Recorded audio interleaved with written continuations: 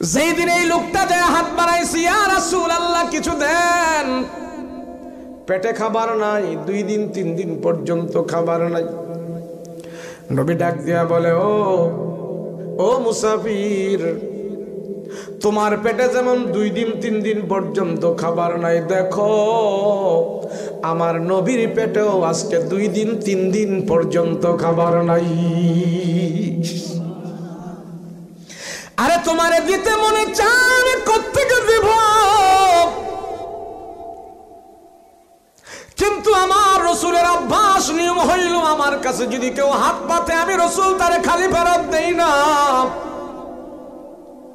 তবে এমন সময় হাত পাচ্ছ আমার পকেটে, নাই, তুমি যেমন, আমিও তেমন। তবে তোমারে খালি ফেরত দিব না আমার জামাতা ওসমান আস যাও। ওই ওসমানের কাছে যাও, তুমি যাই আমার কথা বইল। যায়া তার কাছে তোমার প্রয়োজনের কথা বলবা। ওসমান তোমাকে শব্দ মতো দান করে দিবি। লোকটা হাঁটতে হাঁটতে ওসমান গনির বাড়িতে যান। মুসাফির ওসমান গনির বাড়িতে যাইয়া ওসমান গনির বাড়িতে গেলেন সন্ধ্যা সময়। লোকটা দেখতেছে, ওসমান গনি বিবির ধমকাইতেছে, বিবি, এত বড় করে তুমি শরীরটা জ্বালাইলা, ল্যাম জ্বালাইলা, তৈল বেশি করে জ্বলতেছে, তৈল কমাও, আলো কমাও, তৈল বাঁচাও। বিবির ওসমান গনি ধমকাইতেছে, এত আলো বাড়াইলা, কেরোসিন বেশি করে হাংবে শৈলতা কমাও তেল কমাও তেল বাঁচাও আগুন কমাও সৈতা কমাও। লোকটা এই কথাগুলো যায় উঠানে দাঁড়ায় দাঁড়ায় লোকটা শুনতেছে, ওসমান গনি বিবির ধমকাইতেছে, তেল বাঁচানোর জন্য, আগুন কম করে জ্বালানোর জন্য। লোকটা ডাক দিয়া কাহায় রে, নবী আমারে কোন লোকের কাছে পাঠাইছে? যেই লোকে ঘরের আলো কমায় তেল বাঁচানোর জন্যে, ওই লোক আমারে দিবে কি? ও তো আমার থেকে আরও বড় কেপটা। তার কাছে ছায়া, কোনো লাভ নাই, জায়গা জায়গা। ছায়া মান ইজ্জত নষ্ট করার দরকার নাই। আমারে দিব কি? আমার থেকে দে, আরও বড় কিপটা। আস্তে আস্তে করে লোকটা পেছনে ভেদ করে চলে গেল।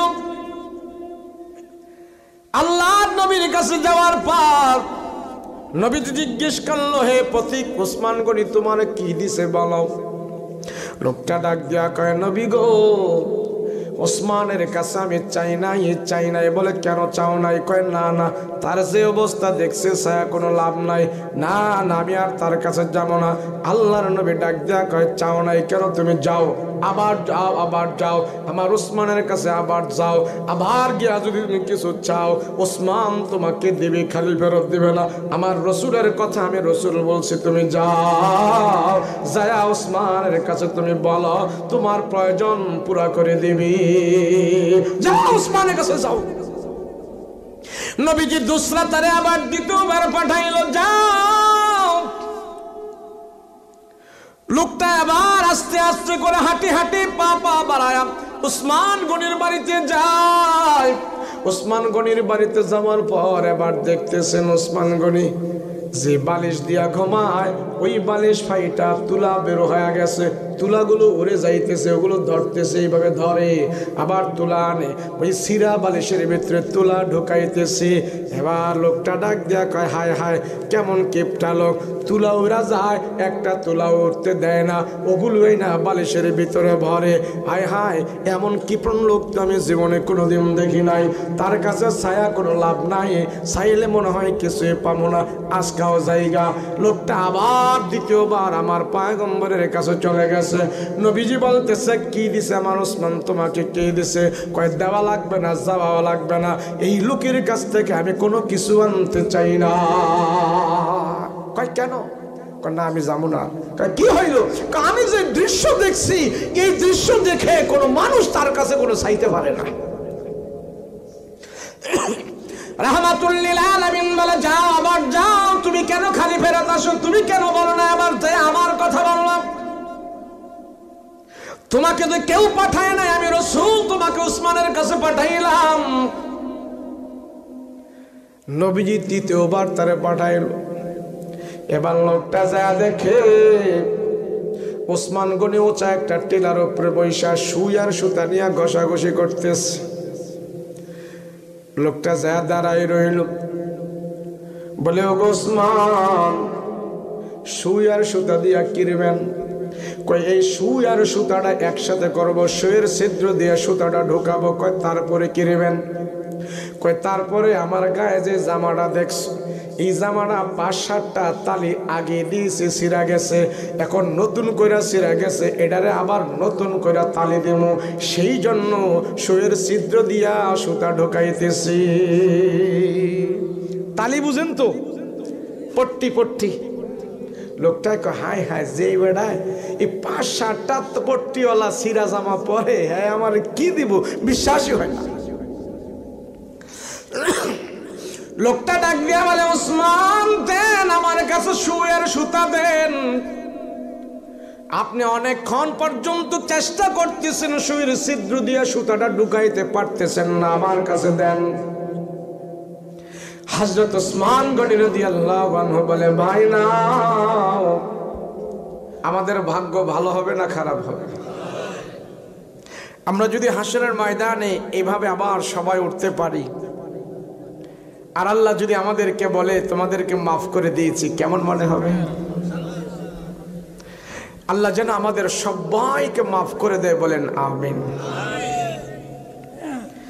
আজকে জান্নাতুল বাকি কবরস্থানের উন্নতি কল্পে মাহফিল। কবরস্থান আমরা এখানে যারা আছি, আমাদের সবার প্রাণ আছে। দুনিয়াতে প্রাণ নিয়ে যারা আসে, একদিন এই প্রাণ শেষ হবে এবং কবরে তার স্থান হবে। বলেন, পৃথিবীতে যত মানুষ আছে, এই কথার সাথে কেউ দ্বিমত হতে পারে?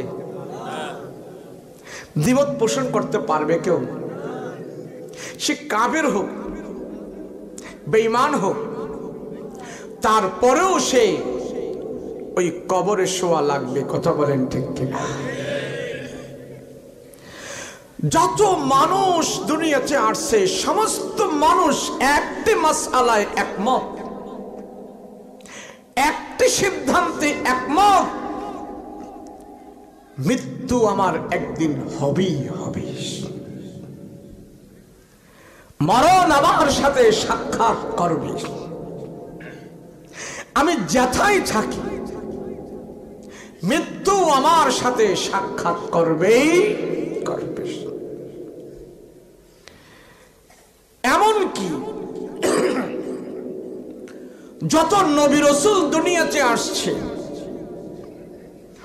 সমস্ত নবী রসুলরা পর্যন্ত মৃত্যুর সাথে সাক্ষাৎ করতে হয়েছে। মৃত্যু এমন এক জিনিসের নাম। মৃত্যু এমন এক আল্লাহ পাকের হুকুম, যা একমাত্র আল্লাহর হাতেই আল্লাহ পাক রেখে দিয়েছে। যদি কোনো মানুষ এই মৃত্যুর ভয় অন্তরে থাকে, কবরের ভয় তার অন্তরে থাকে মৃত্যুর যন্ত্রণার কথা তার এলেমে থাকে। কবরের শাস্তি কি হবে সেই কথা যদি সে ভাবে, বলে এই মানুষটা দুনিয়াতে আল্লাহর নাফরমানি করতে পারে না।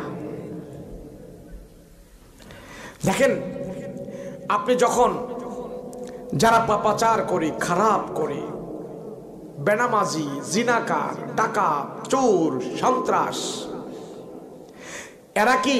যখন এই কার্যক্রমগুলো করে, তখন কি মৃত্যুর কথা স্মরণ থাকে? আমার কথা কি বোঝেন? যারা পাপাচার করে, ধরেন না ডাকাত ডাকাতি করতেছে, তার কি তখন মৃত্যুর কথা স্মরণ আছে? স্মরণ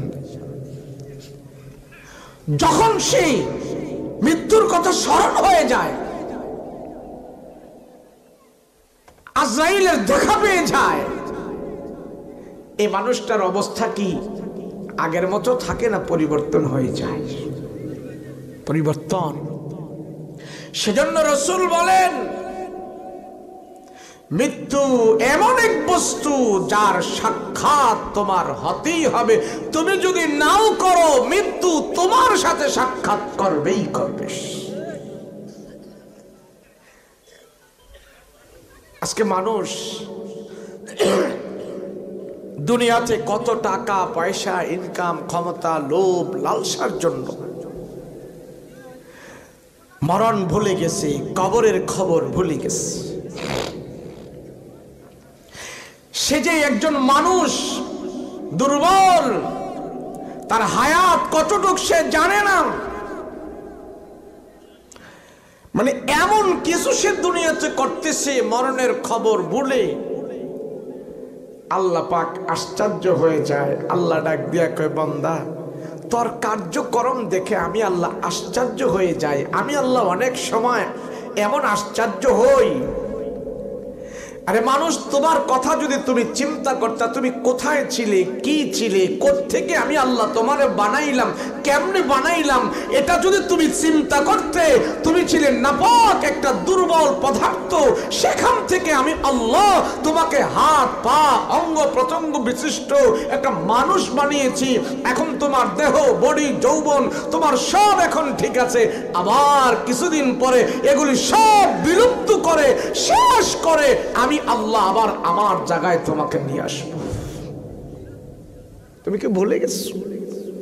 সেজন্য মানুষের অবাধ্য অত্যাচার দেখে আল্লাহ আশ্চর্য হয়ে যায়। মানুষের নাফর মানি দেখে আল্লাহ আশ্চর্য হয়ে যায়। মানুষের তাকাব্বুর অহংকার দেখে আল্লাহ আশ্চর্য হয়ে যায়। মানুষের আত্মগরিমা, অহংকার, বিলাসিতা দেখে দুনিয়ার লোভ দেখে আল্লাহ আশ্চর্য হয়ে যায়। ও মানুষ, তুমি কি ভুলে গেছো মৃত্যুর কথা? তুমি কি ভুলে গেছো কবরের কথা? দেখো না, একটু কবরস্থানে যায় দাঁড়িয়ে দেখো না, এই কবরে রাজা, বাদশাহ, শ্রমিক, দিনমজুর, রিক্সাওয়ালা, মাস্টার, ডাক্তার, সব এক লেভেলে শুয়ে আছে। নাকি কবরে কোনো পাওয়ার আছে? কথা কয় না। কোনটা মন্ত্রী কবর, কোনটা এমপির কবর, কোনটা হুজুরের কবর, কোনটা রিক্সাওয়ালার কবর? কবরে কি এমন সম্মান দেওয়া আছে? সবাই এক না? এক লেভেলের সবাস। সেজন্য আল্লাহ পাক, আমি যে খুদবার মধ্যে আয়াতটা তেলাওয়াত করেছি, এই আয়াতে আল্লাহ বলে, আমি আশ্চর্য হয়ে যাই, বন্দা, কেমনে তুমি নাফর মানি করো? তুই ফজরের নামাজ না পড়ে কেমনে ঘুমিয়ে থাকো? আমি আল্লাহ আশ্চর্য হয়ে যাই। তোমার ইমাম তোমাকে মসজিদে আনে না। তোমার ইমাম তোমাকে ল্যাপের নিচ থেকে জাগ্রত করি। আল্লাহর কুদরতি কদমে সেজদা দিতে ঘুম থেকে জাগ্রত করে না। যে ইমাম তোমাকে আমার ঘরে আনে না, সেজদা দেয় না, যেই ইমাম তোমাকে অজু বানিয়ে মসজিদে এনে হাজির করে না, তুমি বসে আছো, তোমার এই ইমাম দিয়ে তুমি জান্নাতে চলে যাবে। তোমার ইমাম যদি তোমাকে মসজিদে নেয় না, তোমার ইমাম যদি তোমাকে হারাম থেকে বাঁচায় না, তোমার ইমাম যদি তোমাকে নামাজে নেয় না, সেই ইমাম কোনোদিন তোমাকে জান্নাতেও নিতে পারে না। আল্লাহকে একটা চিন্তা করো না। আমি তো আশ্চর্য হয়েছি কাইফা তাকফুরুনা বিল্লাহ। আল্লাহ কয় ফুরু তাকফুরুনা বিল্লাহি ওয়া কুনতুম আমওয়াতা।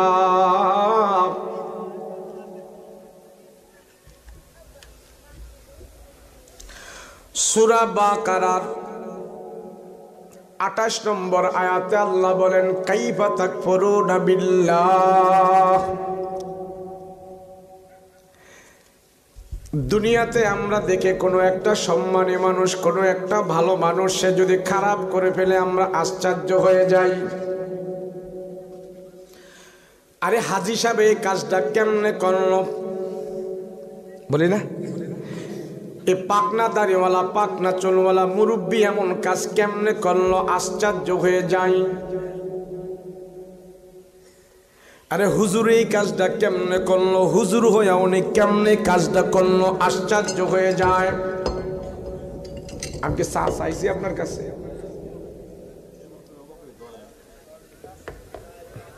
হ্যানে বসে রয়েছি, এক ঘণ্টা চা দেয় না কেউ? এনে লেগেছে আমি স্টেজে চা খাই না। আমার ইউটিউবে যত ওয়াজ আছে, চার ঘণ্টা ওয়াজ করলাম স্টেজে চা খাই না। হ্যাঁ?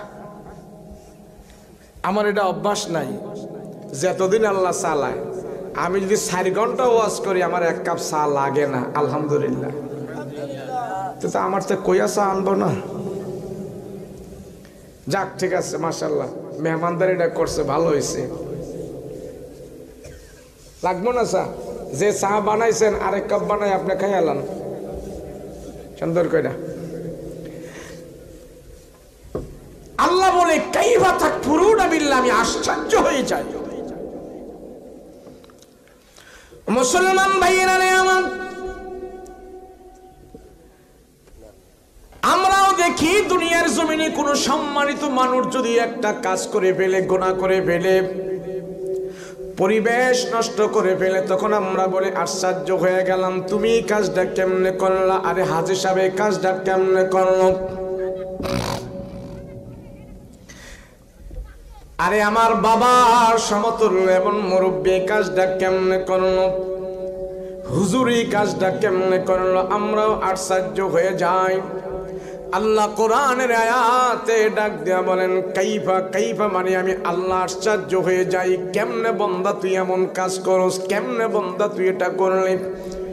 হে বন্দা একবারও তুমি চিন্তা করলা না একবারও তুমি ভেবে দেখলা না। তুমি কোথায় ছিল, এখন কোথায় আছো, আবার কোথায় যাইবা?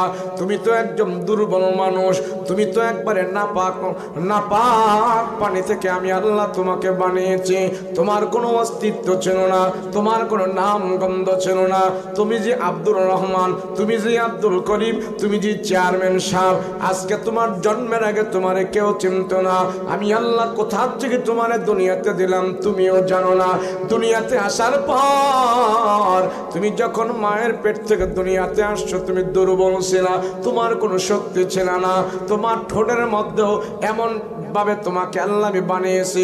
গরম খাবার তুমি খেতে পারো নাই, তোমার মুখে দাঁত ছিল না, একবারে তুমি দুর্বল ছিল। আমি আল্লাহ আস্তে আস্তে করে তোমাকে ভিটামিন খাওয়ায়া, মায়ের বুকের দুধ খাওয়ায়া, আস্তে আস্তে করে আমি আল্লাহ বড় করেছি। এখন তোমার জুয়ানি আসছে, যৌবন আসছে, তোমার শরীরের রক্ত একটু গরম, সেই জন্য তুমি আমার আল্লাহকে ভুলে গেছো। তুমি কি জানো না, কিছুদিন পরে আবার তোমার গরম থাকবে না, তোমার দাঁতগুলো পরে যাবে চুলগুলো সাদা হয়ে যাবে। এ বান্দা তোমার শরীরের চামড়া ঢিলা হয়ে যাবে, চোখের পাওয়ার নষ্ট হয়ে যাবে। বন্দা, তোমার শরীরের গরম থাকবে না। তুমি একবারে দুর্বল হয়ে যাবে, দুর্বল। এই দুর্বল থেকে আবার তুমি দুনিয়ার জমিন ছেড়ে কবরের জগতে চলে যাবে। কেমনে তুমি বাহাদুরি করো, কেমনে তুমি চুরি করো, কেমনে তুমি ডাকাতি করো, কেমনে আমার আল্লাহর নাফরমানি করো? আমি আল্লাহ চেয়ে চেয়ে যখন দেখি, বন্দা, আমি আশ্চর্য হয়ে যায় সেই জন্য আমি আল্লাহ বলি কাইবা তাক ফুরুনা বিল্লাহ। বন্দা, কেমন করে তুমি এমন কাজ করো? তোমার কাজ দেখে, তোমার হারাম দেখে, তোমার সুদ দেখে, তুমি নামাজ না পড়ে ঘুমায় থাকো সেই দৃশ্য আমি দেখে, আমি বন্দা, তোমার প্রতি আমি আল্লাহ আশ্চর্য হয়ে যাই। আমি আল্লাহ আশ্চর্য হয়ে যাই। মুসলমান ভাইরা রে আমার গাছের পাতা ঝরে যায়, চিরদিন থাকে না। নদীর পানি সব সময় জোয়ারও চলে না, ভাটায় যেতে হয়, কথা বলেন ঠিক কিনা? মানুষের যৌবনও চিরদিন থাকে না, দাপটও চিরদিন থাকে না। শরীরের রক্ত গরম সব সময় থাকে না থাকে না। আল্লাহর নবী বলেন, উম্মতেরা তোমরা যদি জাহান নামের আজাব দেখতার কবরের আজাব দেখতাম কোনদিন তোমরা দাঁত বের করে হাসতানা না, হাসতা না। আমি রসুল জানি, আমার উম্মতেরা যদি কবরের আজাব সম্পর্কে জানতো, কবরে যে কত বড় কঠিন আজাব কত বড় বিশাল আজাব আমার একটা উন্মত দাঁত বের করে তারা হাসতো না, পরিবার পরিজন নিয়ে আনন্দ করতো না। খবরের শাস্তি সম্পর্কে যদি তারা জানতো বাড়ি ঘর ছেড়ে, পরিবার পরিজন সব ছেড়ে তারা জঙ্গলের মধ্যে যায়া পরে থাকতো। জঙ্গলে পরে থাকতো। রাহমাতুল্লিল আলামিন ডাক দিয়া সাহাবীরা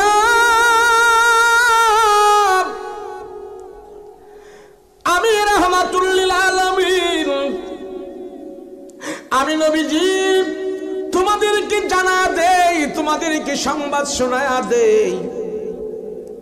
কোনদিন তোমরা কবরের খবর ভুলে যেও না, কবরের আজাব তোমাদের স্পর্শ করবে, এটা তোমরা ভুলে যেও না, এটা ভুলে যেও না। প্রতিদিন কবর তোমাকে সত্তর বার ডাকতে থাকে, কয়বার জোরে বলেন? সত্তর বার কবরের মাটি ডাকতে থাকে রে আদম সন্তান আমার ঘরে আসতে হবে। তুমি যেথায় থাকো যেথায় থাকো, তুমি আমার কাছে আসতে হবে, আমার বিছানায় তুমি শুইতে হবে। প্রতিদিন সত্তর বার করে কবর ডাকতে থাকে। আল্লাহ রসুল বলেন, কবরের ডাক তোমরা শুনতে পাও না। যদি কবরের কোনো ডাক যদি তোমাদের কানে কোনো দিন যাইতো, তখন তোমরা আর হুশ থাকতে পারতা না, বেহুশ হয়ে যাইতা।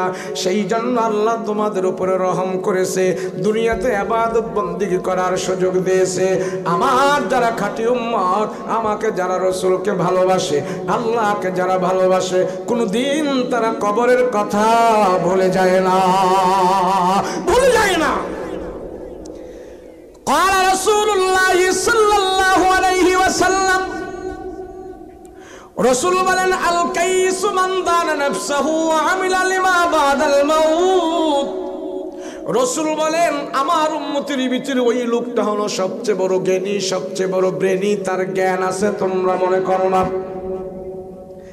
আমরা তো মনে করি অমুকে খুব ব্রেনী আমরা মনে করি ওনার খুব বুদ্ধি আছে, আমরা মনে করি এই পর্দান্নার খুব বুদ্ধি আছে, আমরা মনে করি মাতাব্বর সাহেবের বুদ্ধি আছে উনি যদি বিচারের বিচার বিচার, বিচারের আসনে বসে যদি কথার মধ্যে প্যাচ দেয়, এই কথা কেউ ছুটাইতে পারে না। ওনার খুব ব্রেনশিয়াল ওনার খুব বুদ্ধি।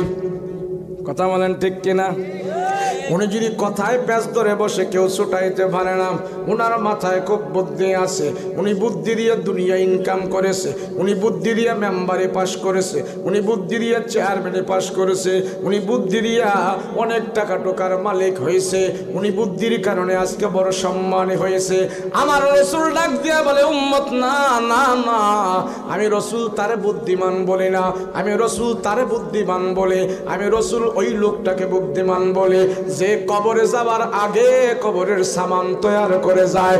কবরের খবর যার কাছে আসে, কবরের খবর যার কাছে আসে, কবরের কথা মনে করে করে।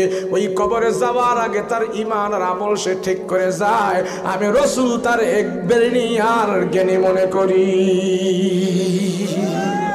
আর আমরা জ্ঞানী মনে করি। জানো, আমাদের চেয়ারম্যান সাহেব কথার মধ্যে ফ্যাস দিলে ইঞ্জিনিয়ার ব্যারিস্টারও চলতে পারে না। খুব বেরিন। ডাক্তার সাহেবের অনেক ব্রেন, মাস্টার সাহেবের অনেক ব্রেন খুব বুদ্ধি একজনের কথার পেছে পালাইয়া মার দিতে পারলে কি বুদ্ধি, নাকি আমল করে আল্লাহরে খুশি করতে পারলে বুদ্ধি? খবরে তো আমার যেতে হবে। ওখানে যাওয়া ছাড়া যেহেতু উপায় নাই তাহলে সেখানের খবর তোমার থাকতে হবে। মানুষ। রসুল বলেন সাহাবিরা দাঁত বের করতে কেউ হাসত না পরিবার পরিজন কেউ আনন্দ করত না যদি তোমাদের কাছে জাহান্নামের খবর থাকত। তোমাদের কাছে যদি কবরের খবর থাকত। রাহমাতুল্লিল আলামিন কবরের পাশ দিয়ে হেঁটে যান। আল্লাহর নবী সব সাহাবীদেরকে ডেকাল সাহাবীরা। আরে দাঁড়াও দাঁড়াও, তোমরা সবাই দাঁড়াও। নবীজি কবরের পাশে সব সাহাবীদেরকে ডাক দিয়া থাম দেয়া থামাই দিলেন, দাঁড় করায় দিলেন, দাঁড়াও। সব সাহাবিরা কবরের পাশে থমকে গেল, দাঁড়ায় গেল। ওগো রহমতের নবী গো কবরের পাশে কেন আমাদেরকে দাঁড় করা দিলেন? কারণ নবীজি ডাক দিয়া বলে, সাহাবিরা রে, আমি রসুল দেখতে পাইতেছি, এখানে দুইটা কবর আছে। এতগুলো কবরের ভিতরে দুইটা কবর আছে। এই দুই কবরের ভিতরে শাস্তি হইতেছে, এই দুই কবরের ভিতরে আজাব হইতেছে। দাঁড়াও, আমি তার এই কবরের আজাব বন্ধ করার ব্যবস্থা করতেছি। আল্লাহর নবী ডাক দিয়া বলে সাহাবীরা জানো কেন কবরের ভিতরে আসা হয়? এই দুই কবরের ভিতরে কেন আজাব হইতেছে তোমরা জানো না কি নাও? বলে সাহাবীরা বলে, না গো নবীজি না আমরা জানি না কেন কবরের ভিতরে আজাব হইতেছে, জানি না। আল্লাহর নবী বলে, সাধারণ দুইটা আমলের কারণে এখানে আজাব হইতেছে। ছোট্ট ছোট্ট দুইটা গুণার কারণে আজাব হইতেছে। যেই গুণাগুলাকে আমরা খুব ছোট্ট মনে করে, আমরা কেউ এগুলি আর করি না। ওই ছোট ছোট গুণা আমাদের কাছে আমাদের কাছে ছোট্ট গুণা কিন্তু ছোট্ট গুণার কারণে আল্লাহ এই কবরের ভিতরে বিশাল বড় শাস্তি দিতেছে। মাত্র ছোট দুইটা গুণা সাহাবিরা বললেন, ইয়া রাসূলুল্লাহ, সেই দুই ছোট দুইটা গুণা কি? রসুল বলেন সাহাবিরা, দেখো একটা কবর এখানে। এই কবরের ভিতরে আজাব হইতেছে। এই লোকটা বসে বসে মানুষের গিবত গাইত। শ্বাসটলে বসে ঘরের ভিতরে বসে, মেল দরবারে বসে, শুধু মানুষের গিবত গাইত উমুকে ভালো না, তুমুকে ভালো না হ্যাঁ ভালো না, তুই ভালো না। উমুক এটা করেছে, উমুক এটা করেছে, নিজে কি করেছে কোনো খবর নাই। পাড়া মহল্লার মানুষের কাছে অন্যজনের বদনাম বেড়াইত, মুসলমান ভাইয়ের ইজ্জত নষ্ট করে দিত, মুসলমানকে গালি দিতে পরোয়া করতো না। পাড়া মহল্লার মানুষকে অপমান করতে কষ্ট পাইতো না। পাড়া মহল্লার মানুষকে সবার সামনে সে অপমান করত নিজেরই কোনো মনে করতো না। এই মানুষটা এই কবরের ভিতরে দাফন হয়েছে, এমন একটা মানুষ। ওই বদনাম গাইছে, বদনাম করেছে, সেই জন্য তার কবরের ভিতরে আজাব হইতেছে। তাইলে কি করা যায়, কি করা যায়? আল্লাহর নবী বলে, পরে করল এবার দেখো আরেকটা কবর এখানে আছে। এই কবরের ভিতরে আজাব হইতেছে। রহমাতুল্লিল আলামিন ডাক দিয়ে বলে, সাহাবীরা রে এই কবরের ভিতরে যে আজাব হইতেছে এই কবরের আজাব কেন হইতেছে জানো নে? এই লোকটা সামান্য একটা আমল ব্যাখ্যালিভাবে করছে।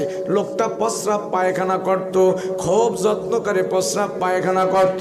যখনই প্রস্রাব পায়খানা করত, তখনই সে প্রস্রাব পায়খানায় চলে যেত যায় চলে যেত বাথরুমে চলে যেত, প্রস্রাব করত, রাস্তার ধারে করত, তার বাথরুমে করত।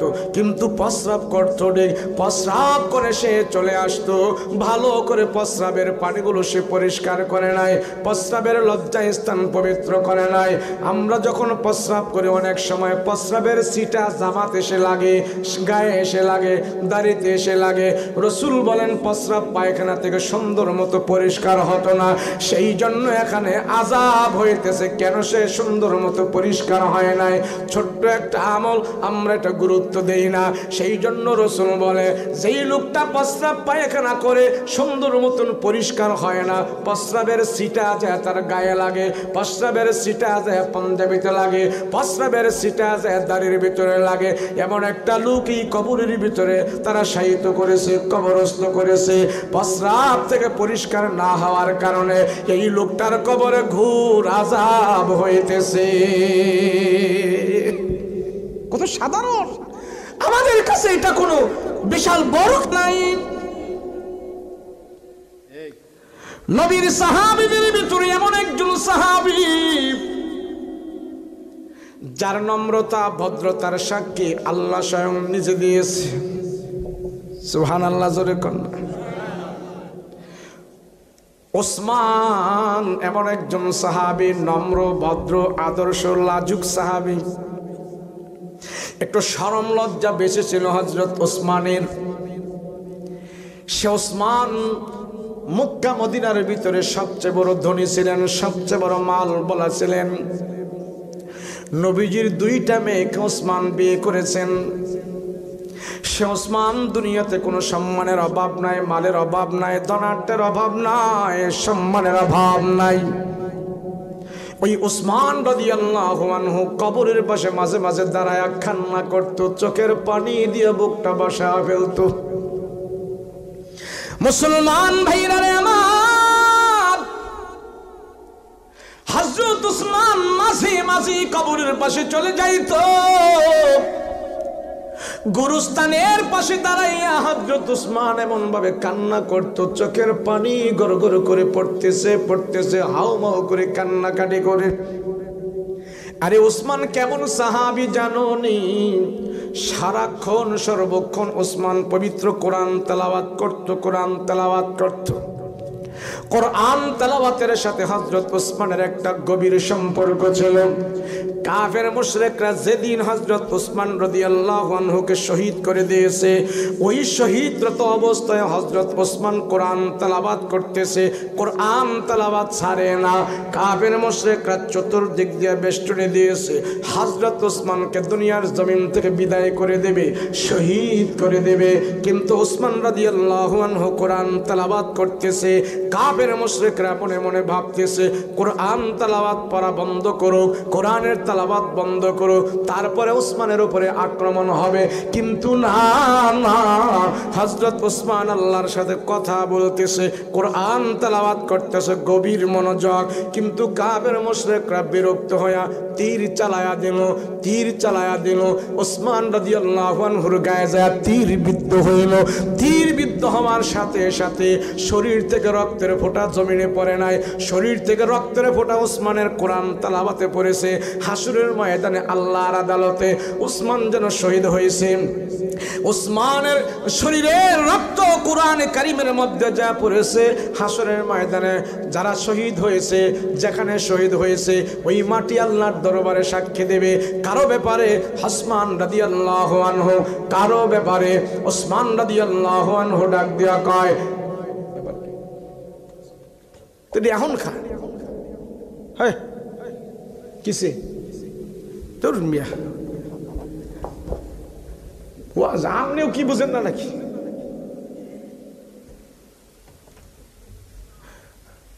কয় ঘণ্টা রানিং করে আইছি, জানেন আপনারা? সেটা হলো পরে, কিন্তু আমি যদি আজকে দোয়া করি, আল্লাহর কাছে কবুল হবে। বলছেন কে? নবীজি বলেছেন। আমার রসুল বলেছেন, মুসাফিরের দোয়া আল্লাহর আদালতে কবুল হয়ে যাস। আমি যদি আপনাদের জন্য দোয়া করি, আমার রসুলের পবিত্র জবানের স্বীকৃতি, মুসাফিরের দোয়া আল্লাহর দরবারে কবুল, আমি দোয়া করলে আজকে হান্ড্রেড পার্সেন্ট কবুল। কখন কবুল হবে সেটা আল্লাহ ভালো জানে, কিন্তু কবুল হবেই হবে। আমার সাথে দোয়া করার জন্য রাজি আছেন? রাজি আছেন? আল্লাহ কবুল করো, বলেন আমিন। সবাই একটু হাত জাগান। লিল্লাহে তাকবীর। নারে তাকবীর।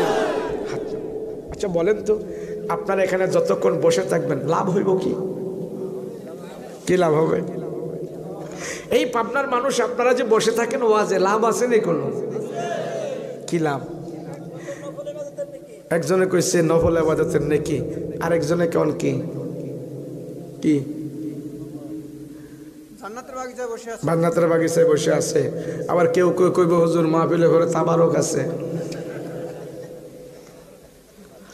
তাবারক খাওয়া শূন্য খাইবেন, অসুবিধা নাই। তো আমি একটা লাভের কথা কই, শোনেন। এই যে আপনারা যতক্ষণ বসে রয়েছেন না, এক ঘণ্টা হোক, দু ঘণ্টা হোক, আধা ঘণ্টা হোক যতক্ষণ আপনারা বসে থাকবেন, আপনার পঞ্চাশ, ষাট, সত্তর বছরের হায়াত থেকে আজকের মাহফিলের এক ঘণ্টা যদি বসে থাকেন, দু ঘণ্টা যদি বসে থাকেন, এই দুই ঘণ্টা আপনার সত্তর বছরের জিন্দিগি থেকে আজকের মাহফিলের দুই ঘণ্টা আল্লাহর দরবারে গুণামুক্ত হয়ে পৌঁছে যাবে। বলেন, এখানে বসে কেউ গুণা করছেন? পিছন কেউ বিড়ি টিড়ি খাইছেনি পাবনা এমন আছে যে বক্তারা লাগাই দিছি, বক্তা ওয়াজ করতে থাক আমরা সেদিক দিয়ে গান বাদ্য শুনি। এমন আছে? সর্বপ্রকারের কাজ, কাম থেকে আমরা এখন মুক্ত, এক কাজ করতেছি, সেটা হলো আল্লাহ এবং আল্লাহর রসুলের কথা শুনতেছি। কথা বলেন ঠিক কিনা? চতুর্দিক থেকে আল্লাহর ফিরিস তারা দেখতেছে আমরা কি করতেছি।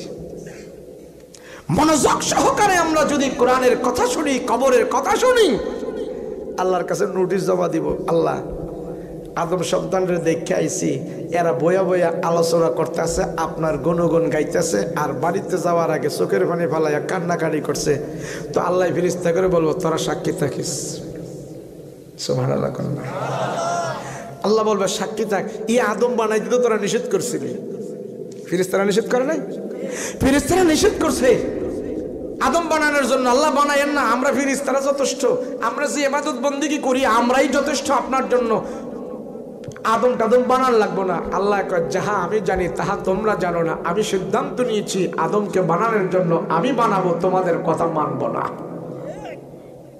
আল্লাহ বলবে, দেখ আদম, তারা আমার গুরু কীর্তনের আলোচনা করতেছে, বাড়িতে যায় যা পারে আমল করবে, চোখের পানি ছাড়ছে, তওবা করতে সাক্ষী থাক, আমি আল্লাহ মাফ করে দিব। এই বলেন, আমাদের আর কি আছে? আল্লাহ এই সমস্ত আমল দেখে আমাদেরকে যদি মাফ না করে, তো আমাদের আর কি আছে আছে কিছু আর?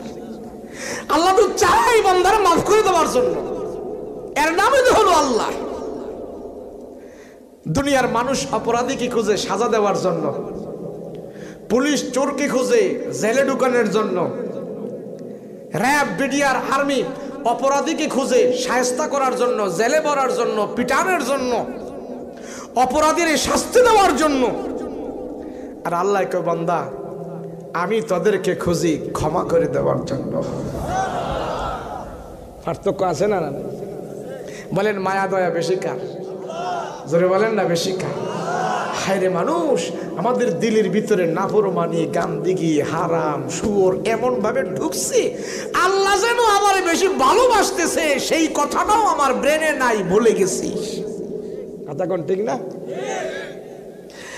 ভালো কাজ ন্যাকামল এগুলা যেন আমাদের দিলে ঢুকবে, ওই জায়গাটা নাই। এমন ভাবে শয়তান আমাদেরকে খাইস ওই এক খাউইয়ার কথা শুনছেন না আপনারা? বিয়া বাড়িতে গেছে হ্যাঁ খুব ভালো ভালো খাইতে পারে, বেশি খাইতে পারে। তো বিয়ে বাড়িতে গেছে, ওখানে যায় আন্ডা মন্ডা, ঘিরবিন্নি, পোলাও, কুরমা, কালিয়া, বিরিয়ানি যা পাইছে সব খাইছে। আরে খাইতে খাইতে মানুষ খায় গলা পর্যন্ত আর হ্যাঁ খাইছে নাক পর্যন্ত। কিছু খাওয়াইয়া লোক আছে না এরকম? মানে বেশি খাইতে পারে, যা দেয় তাই খায়, মেশিনটা ভালো। এমন খাওয়ার ভাবসাব দেখলে মনে হয় সে লোয়া খাইয়া হজম করে লাগবে রড খাইয়া হজম করে ফেলবে, এমন খাওয়াইয়া আছে না নাই? তো সব খাইছে, বিয়া বাড়িতে গেছে, সব খাইছে, খাইয়া তোমাকে আর উঠতে পারে না। এমন খানা খাইস। এখন দেখল দুইজনে দেখল, আরে, তার অবস্থা বেতালা। কি হয়েছে এখন কথাও করতে পারে না, এমন খাওয়া খাইছে ডাক্তারের কাছে ধরে ধরে হেরে নিয়ে গেছে। কি অবস্থা? ডাক্তারের চেক টেক করে দেখল, এই খাউয়াই বেশি খাইয়ে ফেলছে, এটা হজম শক্তির অভাব। ডাক্তারের চেক টেক করে দুইটা ট্যাবলেট দিছে। এই নেন এই দুইটা ট্যাবলেট খেয়ে ফেলেন। আপনার হজম শক্তি হয়ে যাবে, একটু শরীরে আরাম পাবেন। এই খানেওয়ালায় ট্যাবলেটের তাকায় এক ডাক্তার সাহেব, এই ট্যাবলেটের জায়গা যদি আমার ফেটে থাকতো, রসগোল্লা আরও সাইডটা খাইতাম। কেমন খাওয়া খাইস আরে মানুষ মুসলমান আমাদেরকেও দুনিয়ার লোভে শয়তান এমন ভাবে খাইছে, আমাদের দিলেও এতটুক জায়গা নাই, ওই বিশ্বাস নাই, ওই চিন্তা নাই যে আল্লাহ যেন আমাদেরকে কত ভালোবাসে, এই কথাটা আমরা ভুলে গেছি। আমি যে মানুষ, আমার যে কত দাম, এটা আমি বলে গেছি। কেন ভুলতাম না কেমনে? শাস্ত্রলে গেলে গোনা, ঘরে গেলে গোনা, বাইরে গেলে গোনা, খেলায় গেলে গোনা, মেলায় গেলে গোনা, সব জায়গায় গুনার গুনা গুনার গুনা গুনা করতে করতে আমার দিলটা একবারে কৌয়ার মতন কালা হয়ে গেছে। দিলের ভিতরে যে ভালো কিছু ঢুকবো সেই জায়গা দূর করতে হলে আজকের মাহফিলে তওবা করে আজ থেকে ফার করে, আল্লাহর কাছে কান্নাকাটি করে, এরপরে আমরা বাড়ির যাব। রাজি আছি? তো আপনারা আবার ভয় পাইয়েন না যে হুজুরে মনে বড় লম্বা ওয়াজ করব, বেশি লম্বা ওয়াজ করলে তাবারক আবার ঠান্ডা হয়ে যাইব, পরে কইবেন বেশি ওয়াজ করে হুজুরে তাবারক ঠান্ডা করে নিস। কথা কন, আপনারা কয় মাইল দূরে যাইবেন? আপনাদের থেকে বেশি দূরে যাব আমি। তো আপনাদের থেকে তাড়াহুড়া তো আমার বেশি, কথা বলেন ঠিক কিনা? বেশি সময় নষ্ট করব না, অল্প সময় কথা বলব। ধৈর্য সহকারে শুনবেন, রাজি আছেন? আরেকটা কথা, আমার ভাষা কি আপনারা পাবনার মানুষ বুঝতে কি অসুবিধা? তাহলে মোটামুটি পাবনায় তো আরও কয়েক বছর ধরে আসি, ওই আটগড়িয়া আসি, এরপরে কি সাথী আরও কোন জায়গায় যে আসছিলাম, ওই যে পাকশি আসি, পাবনা সদরে আসছি, মোটামুটি আমার ভাষায় মনে হয় তেমন একটা অসুবিধা নাই। তাই না? তো চলবে তো ইনশাল্লাহ। লিল্লাহে তকবীর। নারে তকবীর। বলছিলাম ওসমান রাদিয়াল্লাহু আনহু। বলেন, কেমন শিল্পপতি? সত্তরটা উট ওনার গুডাউনের সাবি বহন করত। সুবহানাল্লাহ কয়টা রে। বুঝেন না, গোরস্থানে ওয়াজ করতেছে সব মুদ্রার বৈশা রয়েছে বলা যে না লাগে, সুবহানাল্লাহ বলবেন ইনশাল্লাহ ওসমান গনি রাদি আল্লাহ আনহর গুডাউনের চাবি বহন করত সত্তরটা ওট। বাংলাদেশে কেমন কোন শিল্পপতি আছে? কেমন শিল্পপতি? মালের অভাব নাই। ওসমান যদি একটু দুনিয়ার শান শৌকত গ্রহণ করত, ওসমান বলে, আমি স্বর্ণের চারে বসে প্রতিদিন খানা খেতে পারতাম। স্বর্ণের প্লেট, স্বর্ণের চার! দুনিয়ার মজা যদি করতাম। এগুলি আমার জন্য থাকতো। ওসমান সেগুলি করে নাই। ওসমান এগুলি করে নাই। ধানের হাত খুব লম্বা ছিল ওসমান গনির। কেমন লম্বা জানেন? নবীজির কাছে এক লোক আইছে। আশা বলে, ইয়া রাসুল আল্লাহ আমি দুই দিন, তিন দিন পর্যন্ত খাবার নাই। রসুল গো, আমারে কিছু দেন। তো নবীজির কাছে যদি কেউ হাত পাততো নবীজি কাউকে ফেরায়া দিত না, কিছু না কিছু হলেও দিয়া দিত। যেই দিন এই লোকটা যায় হাত বাড়াইছি আর রাসূল আল্লাহ কিছু দেন? পেটে খাবার নাই, দুই দিন, তিন দিন পর্যন্ত খাবার নাই। নবী ডাক দিয়া বলে, ও ও মুসাফির তোমার পেটে যেমন দুই দিন, তিন দিন পর্যন্ত খাবার নাই, দেখো। আমার নবীর পেটেও আজকে দুই দিন, তিন দিন পর্যন্ত খাবার নাই। আরে তোমারে দিতে মনে চান কোথেকে দিব কিন্তু আমার রসুলের অভ্যাস নিয়ম হইল, আমার কাছে যদি কেউ হাত পাতে, আমি রসুল তারে খালি ফেরত দেই না। তবে এমন সময় হাত পাচ্ছ আমার পকেটে, নাই, তুমি যেমন, আমিও তেমন। তবে তোমারে খালি ফেরত দিব না আমার জামাতা ওসমান আস। যাও, ওই ওসমানের কাছে যাও, তুমি যাই আমার কথা বইল। যায়া তার কাছে তোমার প্রয়োজনের কথা বলবা। ওসমান তোমাকে শব্দ মতো দান করে দিবি। লোকটা হাঁটতে হাঁটতে ওসমান গনির বাড়িতে যান। মুসাফির ওসমান গনির বাড়িতে যাইয়া ওসমান গনির বাড়িতে গেলেন সন্ধ্যা সময়। লোকটা দেখতেছে ওসমান গনি বিবির ধমকাইতেছে বিবি, এত বড় করে তুমি শরীরটা জ্বালাইলা, ল্যাম জ্বালাইলা, তৈল বেশি করে জ্বলতেছে, তৈল কমাও, আলো কমাও, তৈল বাঁচাও। বিবির ওসমান গনি ধমকাইতেছে, এত আলো বাড়াইলাম। কেরোসিন বেশি করে হাংবে শৈলতা কমাও, তেল কমা তেল বাঁচাও, আগুন কমাও শৈলতা কমাও। লোকটা এই কথাগুলো যায়, উঠানে দাঁড়ায় দাঁড়ায় লোকটা শুনতেছে, ওসমান গনি বিবির ধমকাইতেছে তেল বাঁচানোর জন্য, আগুন কম করে জ্বালানোর জন্য। লোকটা ডাক দিয়া কাহাই রে, নবী আমারে কোন লোকের কাছে পাঠাইছে? যেই লোকে ঘরের আলো কমায় তেল বাঁচানোর জন্যে, ওই লোক আমারে দিবে কি? ও তো আমার থেকে আরও বড় কেপটা। তার কাছে ছায়া কোনো লাভ নাই, জায়গা জায়গা। ছায়া মান ইজ্জত নষ্ট করার দরকার নাই। আমারে দিব কি? আমার থেকে দে আরও বড় কিপটা। আস্তে আস্তে করে লোকটা পেছনে ভেদ করে চলে গেল। আল্লাহ নবীর কাছে যাওয়ার পর নবী জিজ্ঞেস করল, হে পথিক উসমান গনি, তোমার কি দিছে বলো? লোকটা ডাক দিয়া কয়, নবী গো ওসমানের কাছে আমি চাই নাই চাই নাই। বলে, কেন চাও নাই? কয়, না না, তার যে অবস্থা দেখছে, ছায়া কোনো লাভ নাই। না না, আমি আর তার কাছে যাব না। আল্লাহর নবী ডাক দেয়া কয়, চাও নাই, কেন তুমি যাও? আবার যাও আবার যাও। আমার ওসমানের কাছে আবার যাও। আবার গিয়া যদি তুমি কিছু চাও, ওসমান তোমাকে দিবে, খালি ফেরত দিবে না। আমার রসুলের কথা আমি রসুল বলছি, তুমি যাও। যায়া ওসমানের কাছে তুমি বলো, তোমার প্রয়োজন পুরা করে দিবি। যাও ওসমানের কাছে যাও। নবীজি দুসরা তারে আবার দ্বিতীয়বার পাঠাইলো, যাও। লোকটা আবার আস্তে আস্তে করে হাঁটি হাঁটি পা পা বাড়ায়, উসমান গনির বাড়িতে যায়।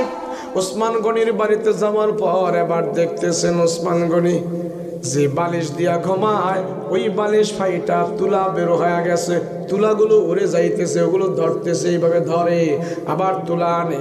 ওই সিরা বালিশের ভিতরে তুলা ঢুকাইতেছে। এবার লোকটা ডাক দেয়া কয়, হায় হায়, কেমন কেপটা লোক? তুলা উড়া যায়, একটা তুলা উঠতে দেয় না, ওগুলোই না বালিশের ভিতরে ভরে। হায় হায়, এমন কিপণ লোক তো আমি জীবনে কোনোদিন দেখি নাই। তার কাছে ছায়া কোনো লাভ নাই চাইলে মনে হয় কিছুই পাবো না, আজকাও জায়গা। লোকটা আবার দ্বিতীয়বার আমার পায়গম্বরের কাছে চলে গেছে। নবীজি বলতেছে, কি দিছে আমার ওসমান? তোমাকে কে দিছে? কয়, দেওয়া লাগবে না যাওয়া লাগবে না। এই লোকের কাছ থেকে আমি কোনো কিছু আনতে চাই না। কয়, কেন? না, আমি যাব না। কি আমি যে দৃশ্য দেখছি, এই দৃশ্য দেখে কোনো মানুষ তার কাছে কোনো চাইতে পারে না। যাও আবার যাও। তুমি কেন খালি ফেরত আসো? তুমি কেন বলো না আবার আমার কথা বললাম তোমাকে তো কেউ পাঠায় নাই, আমি রসুল তোমাকে উসমানের কাছে পাঠাইলাম। নবীজি তৃতীয়বার তারে পাঠাইল। এবার লোকটা যা দেখে ওসমান গনি উঁচা একটা টিলার উপরে বৈশা সুই আর সুতা নিয়ে ঘষাঘষি করতেছে। লোকটা যা দাঁড়াই রইল। বলে ওসমান সুই আর সুতা দিয়া কিরবেন এই সুই আর সুতাটা একসাথে করব, সুয়ের ছিদ্র দিয়ে সুতাটা ঢুকাবো। কয়, তারপরে কিরবেন কয়, তারপরে আমার গায়ে যে জামাটা দেখছ, এই জামাটা পাঁচ সাতটা তালি আগে দিয়েছে সিরা গেছে, এখন নতুন কইরা সিরা গেছে, এটারে আবার নতুন কইরা তালি দেব। সেই জন্য শোয়ের ছিদ্র দিয়া সুতা ঢোকাইতেছি। তালি বুঝেন তো? পট্টি পট্টি। লোকটাই কয় হাই হাই যে বেড়ায় এই পাঁচ সাতটা তো পট্টিওয়ালা সিরা জামা পরে হ্যাঁ আমার কি দিব? বিশ্বাসই হয় না। লোকটা ডাক দিয়া বলে, ওসমান, দেন আমার কাছে শুয়ের সুতা দেন। আপনি অনেকক্ষণ পর্যন্ত চেষ্টা করতেছেন শুয়ের ছিদ্র দিয়ে সুতাটা ঢুকাইতে পারতেছেন না, আমার কাছে দেন। হজরত ওসমান গনি রদি আল্লাহ বলে, ভাই না তুমি আমারে ছোট্ট একরামটা করে দাও। এবার ওই লোকটা ওসমান গনির কাছ থেকে যখন আর সুতা নিল, এক ধাপি সুইয়ের ছিদ্র দিয়া সুতাটা ঢোকা দিল, ওসমান, নেন আপনার কাম সারেন ওসমান গনি বলে ভাই রে তুমি কোত্থেকে আসলা? কোত্থেকে আসলা? আমি ছোট্ট একটা কাজ অনেকক্ষণ ধরে ঘষাঘষি করতেছি। আমার এই ছোট্ট কাজটা তো অনেকক্ষণ ধরে আমি পারতেছি না। তুমি এমন মুহূর্তে আমাকে সে আক্রাম করে দিলা। আমি তোমার জন্য খুশি হয়ে কি দিতে চাই তুমি বলো, কি নিতে চাও? আমি ওসমান তোমার চাওয়া পাওয়া পুরা করে দেব, কি বলো? বলে, যা দেন আপনি তাই আমি নেব। ওসমান বলে, লোকটাকে বলে, ভাই, তুমি বসো, মুসাফির মানুষ, তুমি বসো। আমি মুদিরিকে ডাক দেই, ম্যানেজারকে ডাক দেই, তোমার জন্য হাদিয়া তোহবা নিয়ে আসতেছি। ওসমান রাদিয়াল্লাহু আনহু ডাক দেয়া বলে, তাল হেনা মুদির, হে ম্যানেজার, তুমি এখানে আসো। এই মুসাফির মনে হয় কোনো পথ হারা মনে হয় কোনো অভাবী। তাকে তুমি গোডাউন থেকে যায় এক বস্তা, এক ওট জব গম, আটা বুঝাই করে একটা উট তার সামনে নিয়ে আসো। আমি ওসমান তারে ভর্তি করা, একটা উট ভর্তি করা জব গম আটা যা আছে আমি তারে দান করে দিতে চাই। লোকটায় যখন ওই লোক ম্যানেজার সব হাজির করে সারছে, লোকটা কয়, আমারে দিবেন? বলে হ্যাঁ তোমার জন্য। হ্যাঁ বিশ্বাস হয় না। বলেন কি? আপনি আমাকে দিয়ে দিবেন, কি উপহাস করছেন। মানে না হ্যাঁ এটা তোমার জন্য আমি তোমাকে আল্লাহ রাস্তে দিয়ে দিস লোকটা ডাক দিয়ে বলে ওসমান আমার বিশ্বাস হয় না হয় না। আপনি কি আমার সাথে মজা করতেছেন কি না? বলে ভাইরে না না, মজা করতেছি না। তোমাকে আমি আল্লাহকে খুশি করার জন্য তোমাকে আমি দিয়ে দিয়েছি।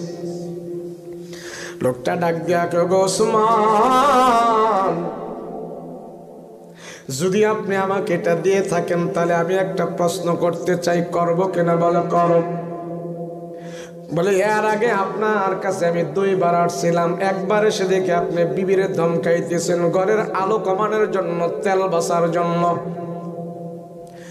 আরেকবার আইসা দেখলাম আপনার বালিশ ফাইটা তুলা বের হয়ে গেছে, তুলাগুলো আপনি একসাথে জমা করতেছেন, কারণ কি? যদি আপনি মানুষরে এত কিছু দান করে দেন, নিজের বেলা এত কিপটামি করলেন কারণ?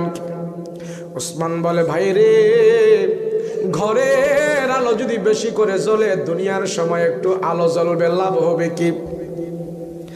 আর এই দেখো আমার গায়ে সিরা ফাটা জামা, আমি যদি সুন্দর জামা পরে পরে ঘুরি, লাভ হবে কি? একদিন তো আমার মার্কিন কাপড় পরতে হবে। ওসমান রাদিয়াল্লাহু আনহু বলে, ও ভাই, আরে তুমি যে আমাকে দুইবার দেখছ, ঘরের আলো কমাইলাম, তেল বাসাইলাম, তুমি যে আমাকে দেখলাম বালিশ ফাইটা তুলা বের হয়ে গেছে, সেগুলি আমি একসাথে করলাম। আমি যদি ঘরের আলো বাসায় বালিশ ফাটা তুলা না দিয়া যদি সুন্দর সুন্দর বালিশ দিয়া ঘুমাইটা দুনিয়ার ক্ষণিকের আনন্দ। কিন্তু তোমাকে যে আমি উট বুঝাই করে দান করে দিলাম, এটা ক্ষণিকের দুনিয়ার আনন্দ না। আমার রসুল বলেছেন, আল্লাহর জন্য যারা ভালোবাসে, আল্লাহর জন্য যারা দান সৎকা করে, এ দান সৎকা হাসরের ময়দানে জান্নাতের শিলা হয়ে যাবে। বাইরে, দুনিয়াটা আমার কাছে বড় না, আমার কাছে আখে রাত্রা হলো বড়। যে উসমানের মালের কোনো অভাব নাই যে উসমানের সম্পদের কোনো অভাব নাই। সে উসমান কবরের পাশে দাঁড়ায় দাঁড়ায় কান্দে আর বলে মালি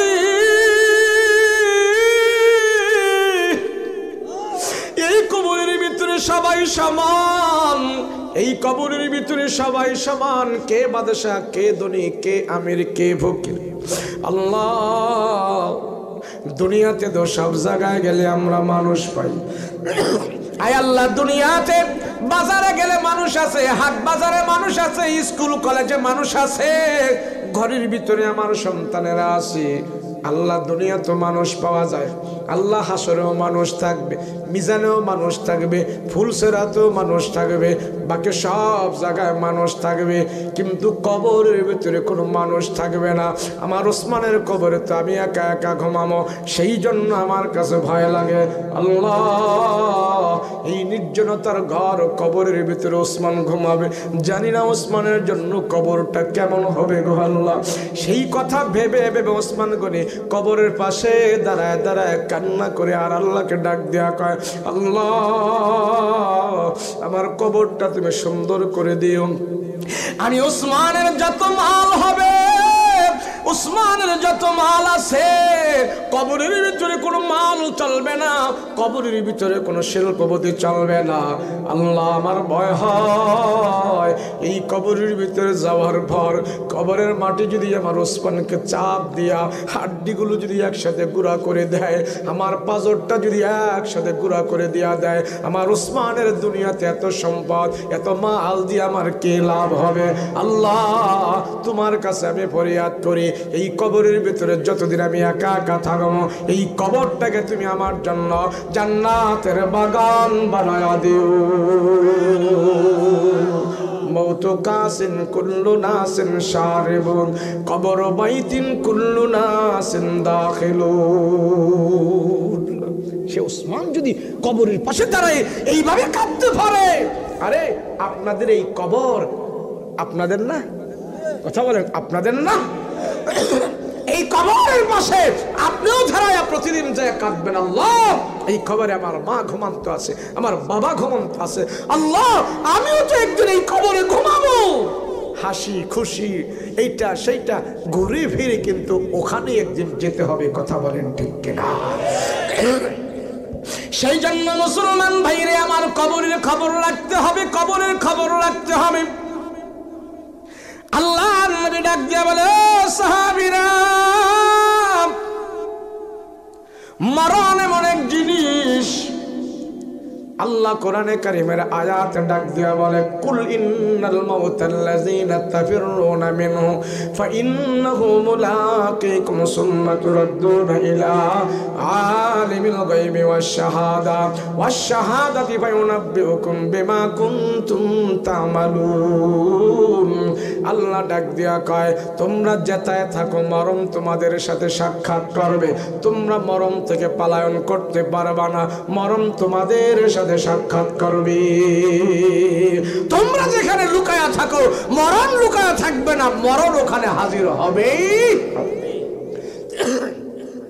রসুল যদি মৃত্যু থেকে কেউ বাঁচতে পারতো, আমি রসুল বাঁচতে পারতাম। বলেন, আমার রসুল কি মৃত্যু থেকে বাঁচতে পারেছে কিনা? আমার রসুলের সাথেও মরণ সাক্ষাৎ করছে। যেই নবীজির দাম আল্লাহর পরে পৃথিবীর বুকে শ্রেষ্ঠ নবীজি, সব কিছু থেকে আল্লাহ আমার রসুলকে শ্রেষ্ঠ করে বানিয়েছে।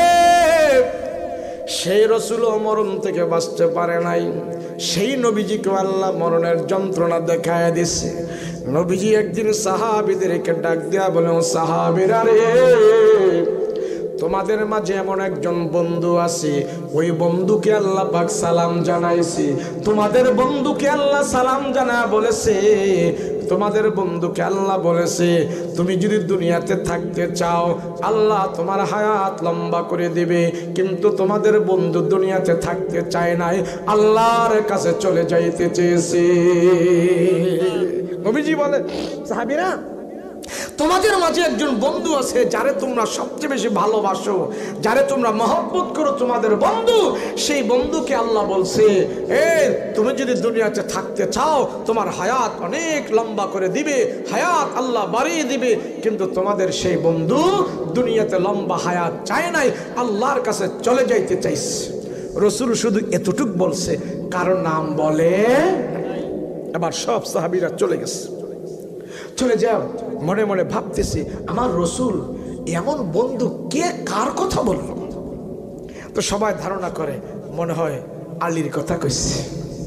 মনে হয় উসমানের কথা কইছে। কেউ কেউ বলে আবু বকরের কথা বলছে। আবার কেউ কেউ বলে না, তলহার কথাও বলতে পারে। রসুল বলছে, তোমাদের ঘনিষ্ঠ বন্ধু আল্লাহ তারে সালাম দিয়ে বলছে, দুনিয়াতে থাকার জন্য তোমাদের সেই বন্ধু দুনিয়াতে থাকতে চায় নাই, আল্লাহর কাছে চলে যাইতে চাইস। সব সাহাবিরা শুধু এখন টেনশনে পড়ে গেল, আমাদের এমন বন্ধুটা কে? আল্লাহ তারা দুনিয়াতে থাকতে কইলো, কিন্তু থাকতে চায় না, আল্লাহর কাছে চলে যেতে চাইলো, বন্ধুটা কে? সব সাহাবিরা আবার টেনশনে পড়ে গেলে, এমন বন্ধুকে এমন বন্ধুকে আল্লাহ সালাম জানে আর থাকতে পারল, থাকে নাই। সাহাবায় কেরাম মিলে হজরত আলীর কাছে গেল। আলীকে জিজ্ঞেস করে অগো আলী, আল্লাহকে আপনারে সালাম দিয়া বলছে কিনা দুনিয়াতে থাকার জন্য? আলী কয়, না না, আল্লাহর পক্ষ থেকে তো আমি এমন সালাম পাই নাই এমন সালাম পাই নাই। এটা সাউন্ড দিত আর এটা দিকু দিত কোন? এই, ঘুমান কে? ঘুমায়। এটা সাউন্ড সুন্দর করে। ইকো দাও। আল্লাহ পাক রাব্বুল আলী বলে না না, আমাকে সালাম দেয় নাই। সাহাবাই কেরাম আবার কাছে বলে আল্লাহ কি আপনাকে সালাম দিয়েছে কিনা? দুনিয়াতে থাকার জন্য আল্লাহ আপনার হায়াতটা লম্বা করে দিবে। আপনাকে আল্লাহ বলেছে কিনা? ওসমান বলে না সাহাবিরারে না আমাকে তো আল্লাহ সালাম দেয় নাই। আমি জানি না আল্লাহ আবার সালাম দেয় না, এমন খবর আল্লাহ আমাকে দেয় নাই। সাহাবির আবার ওমর রাদি আল্লাহ কাছে গেছে, ওগো ওমর, আল্লাহ তো আপনার, রসুল তো আপনাকে বলেছে, দুনিয়াতে যদি নবীজির পরে কেউ নবী হইতো, আল্লাহ আপনাকে নবী বানায় পাঠাইতো। আপনার অনেক সম্মান আছে, আপনার অনেক মর্যাদা আছে। আল্লাহ কি আপনার সালাম দিয়ে এমন কথা বলছে কিনা দুনিয়াতে থাকার জন্য? না, উসমান কয়, না না, আল্লাহর পক্ষ থেকে আমি এমন সালাম পাই নাই। সব সাহাবাই কেরাম হজরত আবু বকর নদী আল্লাহ আনহুর কাছে গেছে দেখে আবু বকর দুইটা চোখের পানি ফেলে ফেলে কান্না করতেছে, বুকটা বাসায় ফেলছে। সব সাহাবিরা যায় আবু বকরের সামনে বসতে, ওগো আবু বকর, মনে হয় আল্লাহ আপনারে সালাম জানাইছে, দুনিয়াতে আপনি থাকতে চান নাই সেই জন্য মনে হয় আপনি কান্নাকাটি করতেছেন। কান্নাকাটি করতেছেন। আবু বকর রাদিয়াল্লাহু আনহু ডাক দিয়া বলে, সাহাবীরা রে, না না না। আরে আল্লাহ আমারে সালাম দেয় নাই। আরে রসুলের কথা তোমরা বুঝো নাই।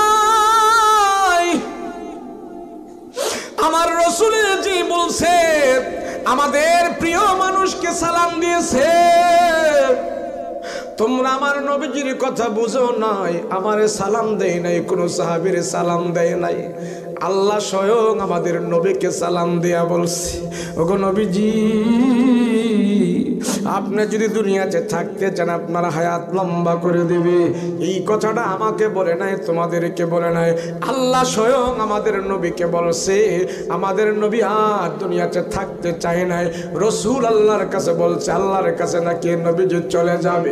দেখো না, নবীজির কয়েকটা দাড়ি পেকে গেছে, কয়েকটা চুল পেকে গেছে।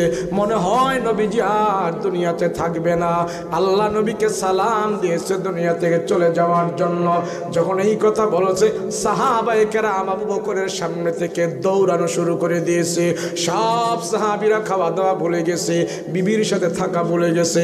সাহাবাই কেরাম আমার পয়গম্বরের সামনে যায় হাউ মাউ করে কান্নাকাটি শুরু করে দিয়েছে। আমাদের নবী। আপনি দুনিয়া থেকে চলে যাবেন। আল্লাহ কোন সাহাবিকে সালাম দেয় নাই। আবু বকর বলেছে, আপনাকে নাকি আল্লাহ সালাম দিয়েছি। দুনিয়া থেকে নাকি আপনি চলে যাবেন। দুনিয়ার হায়াত লম্বাটা আপনি চান নাই। আপনি দুনিয়ার জমিন থেকে চলে যাবেন। নবী গো, আমরা বিশ্বাস করি না, বিশ্বাস করি না। আমাদেরকে আপনি প্রাণ ভরে মহাব্বত করেন। আমরাও তো আপনাকে প্রাণ ভরে মহাব্বত করি। আমাদেরকে ছেড়ে আপনি চলে যেতে পারেন। না, কুলিজা বলে রসুল আপনাকে মহাব্বত করি। আমাদেরকে ছেড়ে আপনি কেমনে থাকবেন? আপনাকে ছাড়া তো আমরা থাকতে পারব না। হাজরত তোমর রাদি আল্লাহ তার বাড়ি নিয়ে দাঁড়ায় গেছিল। আমার নবীজির অন্তেকালের পর, এ সাহাবিরা, তোমরা যদি কেউ বলো আমার নবী মৃত্যুবরণ করেছে, তোমরা যদি বলো আমার নবী দুনিয়া থেকে চলে গেছে, আমি তোমাদের গর্দান উড়াইয়া দেব। আবু বকর হজরত ওমর রাদি আল্লাহ সান্ত্বনা দিয়া বলে, আবু বকর নবীজি আমাদের ছেড়ে দুনিয়ার জমিন ছেড়ে কবরে চলে গেছে। নবীজিও মৃত্যুবরণ করেছে এটা ঠিক। তুমি এমন করো না, পাগলামি করো না। হাসুরের ময়দানে, জান্নাতে আমাদের নবীর সাথে আমাদের দেখা হয়ে যাবে। সব সাহাবাই কেরাম এবার খাওয়া দাওয়া ভুলে গেছে, বিবির সাথে আনন্দ করা ভুলে গেছে। বাচ্চা কাচ্চারে আদর করে ডাক দেয়, না সাহাবিরা ঝাড় করে কান্না করতেছে আর বলে, রহমতের নবী গো। আমাদেরকে ছেড়ে আপনি কেমনে থাকবেন আমরা জানি না, আমরা বুঝি না। নবী সবাইকে ডাক দেয়া বলে, সাহাবিরা রে, আমি নবীও মরণশীল, আমিও মরতে হবে, তোমরাও মরতে হবে, দুনিয়ার জমিন থেকে বিদায় হতে হবে। এই তো কিছুদিন পরে আমার রসুল অসুস্থ হয়ে গেছে। নবীজি অসুস্থ হয়ে গেছেন। চোদ্দ দিন আগে এমতেকালের চোদ্দ দিন আগে আমার রসুল অসুস্থ হয়ে গেছে। প্রতিটা প্রসমের গোড়া গোড়া দিয়া পানি বের হয়ে গেছে, ঘাম বেরো হয়ে গেছে।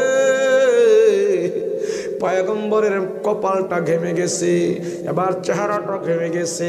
নবীজিকে চাদর দিয়া শোয়া রাখছি, প্রত্যেকটা পশমের গোড়া গোড়া থেকে পানি বের হয়ে গেছে। আল্লাহর নবী এন্তেকালের আগে, মৃত্যুর এন্তেকালের আগে অসুস্থ হয়ে গেছে। মা আম্মা জানা আসার রানের উপরে নবীজি শুয়ে আছে, মা আয়েশা রসুলকে খেদমত করতেছে। সাহাবাই কারাম খাওয়া দাওয়া বলে গিয়েছে, ইয়া রাসূলুল্লাহ, ইয়া হাবিবাল্লাহ, রহমতের নবী গো। আপনি আমাদেরকে ছাড়া কোথাও যেতে পারেন না, যেতেও পারেন না।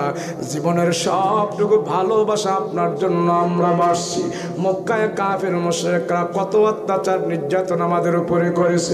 তারপরেও আপনার কাছ থেকে আমরা দূরে যাই নাই। রসুল আপনার ডাইনে বামে থেকে আমরা চলেছি।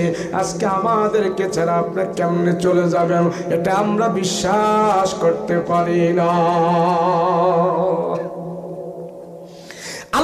রহমাতুল্লিল আলামিনের ইন্তিকালের খবর সাহাবীদেরকে আবু বকর দিয়েছেন আগে। নবীজি ডাক দিয়ে বলে, আবু বকর, আমার গোপন কথাটা কেউ বুঝেছিল না।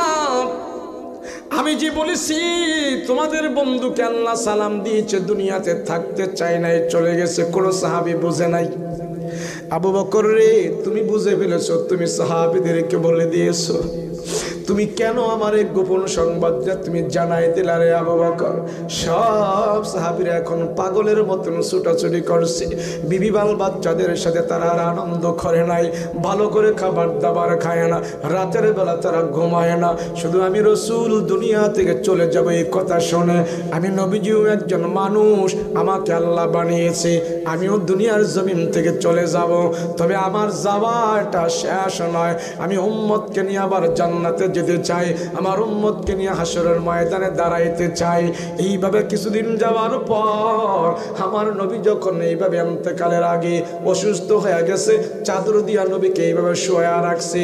আল্লাহর নবী রহমাতুল্লিল আলমিনের জানটা যখন বের করবে, এমন মুহূর্তে আজরাইল আলাইহিস সালাতু সালাম ওই ঘরের দরজার মধ্যে আসছে। ঘরের দরজায় এসে বললেন, আসসালাতু আসসালামু আলাইকা ইয়া রাসূলুল্লাহ। নবী গো, দুনিয়ার কোনো মানুষের রূহ বের করার জন্য আমি পারমিশন চাই না পারমিশন লাগে না। ইয়া রাসূলুল্লাহ, ইয়া হাবিবাল্লাহ, রহমতের নবী। আমি আজরাইল, আপনার ঘরের দরজায় এসে আপনার অনুমতি চাই। নবীগ দুনিয়ার কোনো এমপি মন্ত্রী, কোনো কারও কাছে যাওয়ার জন্য আমার পারমিশন লাগে না। আমি আপনার দরজা এসে আপনার পারমিশন ছাড়া আপনার কাছে আমি যাব না। ইয়া রাসূলুল্লাহ, আপনি আমারে পারমিশন দিলে আপনার ঘরে আমি আসব। আল্লাহর নবী রহমাতুল্লিল আলামিন আম্মা জান ফাতেমাকে ডাক দিয়ে বলে, ও ফাতেমা, ঘরের দরজা খুলে দাও।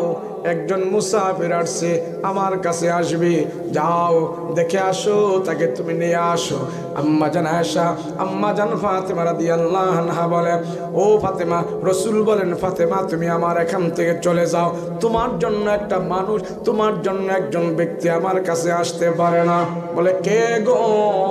আম্মা জান ফাতেমাকে নবীজি ডাক দিয়া কয়, আজরাইল আলাইহিস ওয়াসসালাম আমার ঘরের দরজার সামনে হাজির হয়ে গেছে। এ ফাতেমা, তুমি যাও, তুমি এখান থেকে বিদায় হও।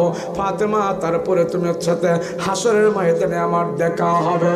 আম্মা জান ফাতেমা রাদিয়াল্লাহু আনহা, যখন শুনতে পাইলেন বাবার রুহটা বের করার জন্য, আজরাইল ঘরের দরজার সামনে হাজির হয়ে গেছে। একটা চিৎকার মেরে দরজার সামনে যায় ফাতেমা। দরজাটা খুলিয়া দেখে এমন একটা বৎসরতের মানুষ, এমন একজন মানুষ সেখানে দাঁড়ায় আছে। যার চেহারা মুক্কা মদিনার কোনো মানুষের সাথে মিল নাই। মা ফাতেমা দরজা লাগা দিছে। আল্লাহর নবীকে ডাক দিয়া কয়, বাবা, তাকে আমি আসতে দেব না, আসতে দেব না। মক্কা মদিনার কোনো মানুষের সাথে তার চেহারার মিল নাই। সে আজরাইল, আমি বুঝতে পেরেছি। আমি মা হয়া, আমি আপনার সন্তান হইয়া দরজা লাগায় দিছে।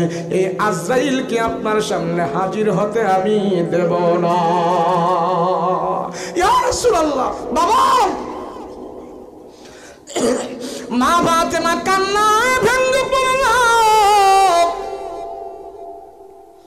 চোখের পানি ছেড়ে ছেড়ে কান্দি বলে, বাবা! কত লালন পালন করেছেন, কত মহাব্বত করেছেন। আপনি যদি এখন দুনিয়ার জমিন থেকে চলে যান, বাবা গো, আমি কার চেহারা দেখব? আমি কারে বাবা বলব? মা ফাতেমা বসে বসে চোখের পানি ছেড়ে ছেড়ে কান্না করতেছে। চোখের পানি আর মশে বলে, ফাতেমা তুমি যদি আজরাইলকে আসতে না দাও, আজরাইল অবশ্যই আমার কাছে আসবে, তুমি বাধা দিয়া রাখতে পারবা না। ফাতেমা, যাও, আজরাইলকে আসতে দাও। আমি আল্লাহর রসুল, আমি নবী, আজরাইলের সাথে একটু কথা বলতে চাই। আল্লাহু আকবার। আল্লাহর নবীর সামনে যখন হাজির হলো, সালাম দিয়ে হাজির হলো নবী। আপনার রুহটা বের করে নেওয়া হবে, আল্লাহ সসম্মানে আমাকে নিয়ে যাইতে বলেছে। এবার নবী মানে আমার রুহ বের করবা, ভালো কথা নিয়ে যাইবা, অসুবিধা নাই, আল্লাহর হুকুম। তবে আমি নবীজি জানতে চাই, আমার রুহু বের করার আগে তুমি আল্লাহকে জানাই দিয়ে আসো, আল্লাহর কাছ থেকে আমি জানতে চাই। আমার উম্মতের খবর কি? আমার উম্মতের গুনাহ কথা আল্লাহ মাফ করেছেনি। আজরাইল বলে, এই খবর আমার কাছে নাই বলে জিব্রাইলকে দেয়া বলো।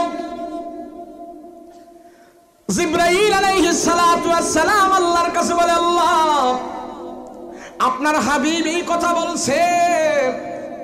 মৃত্যু সজ্জায় পরেও পরেও রসুল উম্মতের কথা বলতেছে, উম্মতের গুনা খাতা মাফ করেছেন কেটা জানতে চায়? আল্লাহ ডাক দিয়া বলেন জিব্রাহিম যাও, আমার বন্ধুকে যা বলে দিয়ে আসো। সমস্ত নবীর উম্মতের আগে আমার নবীর উম্মতেরা জান্নাতের ভিতরে যাইবে। আবার জিবরাইল আলাইহিস সালাতু ওয়াস সালাম এই ঘোষণা দেওয়া চলে গেল। আজরাইল আলাইহিস সালাতু ওয়াস সালাম দিলেন। সালাম দেওয়ার পর আমার রাসূলুল্লাহ সাল্লাল্লাহু আলাইহি রূহটা পবিত্রভাবে বের করবেন, আরামে বের করবেন। বের করার আগে আজরাইল সালাম আমার নবীর বুকের উপরে যখন এইভাবে হাতটা রাখছি, নবীজি হাউমাউ করে কান্না শুরু করে দিয়েছে আর বলতেছে, আহ আহ, মৃত্যুর যন্ত্রণা যে এত কঠিন। আমার রসুলের যন্ত্রণা এমন হচ্ছে। আর আমার উম্মতের কি অবস্থা হবে? আজরাইল ডাক কয়, রহমতের নবী গো, আপনার রুহুটা যেভাবে আরামে বের করতেছে, এর আপনার বৎকা উম্মত যারা হবে, বেনামাজি যারা হবে, তাদের রুহুটা যেভাবে বের করব, একশো ভাগ আজাব দিয়া, কষ্ট দিয়া বেঈমানদের রুহুটা বের করবে। সেই একশো ভাগের এক ভাগ পরিমাণও আপনাকে কষ্ট দেওয়া হয় নাই।